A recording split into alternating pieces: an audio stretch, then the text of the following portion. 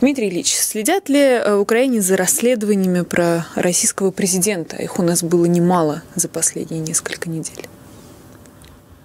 Вы имеете в виду э, про дочку, да, третью? Э, и, и не только там, и про Ковальчука, у проекта вообще целая серия расследований. В Украине вообще важно, кто такой а... мистер Путин? Вы знаете, э, у какие вы смелые вопросы задаете. Вам нагоняй будет, я думаю, Думаете? потом. Нет? Ну, посмотрим. Да. Если встретимся еще в эфире, значит, не было ничего, значит, все в порядке. Вы прекратите. Следят, конечно, но не так пристально, как э, э, можно предположить. Э, для нас давно понятно, кто такой Путин, и любой скандал э, плюс-минус не имеет никакого уже значения.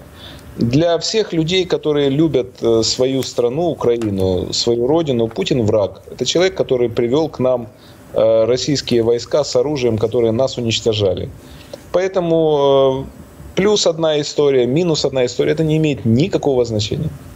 А вы, в частности, брали большое-большое интервью у очень известного в последнее время политолога, Валерия Соловья, который сейчас, к сожалению, находится под арестом. Вы его разгадали для себя? Кто такой Валерий Соловей? И вот, в частности, он тоже много всего интересного рассказывает про Владимира Путина. Э, разгадал ли я для себя, кто такой Валерий Соловей? Да. Могу ли я ответить на вопрос, кто он, который последует и последовал? Нет. Почему?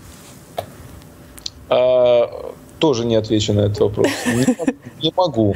Э, я с вами предельно честен. Э, так. Не могу отвечать на этот вопрос. Хорошо, вы хотя бы скажете, это политические у вас причины или там, может, личная договоренность с Валерием Дмитриевичем?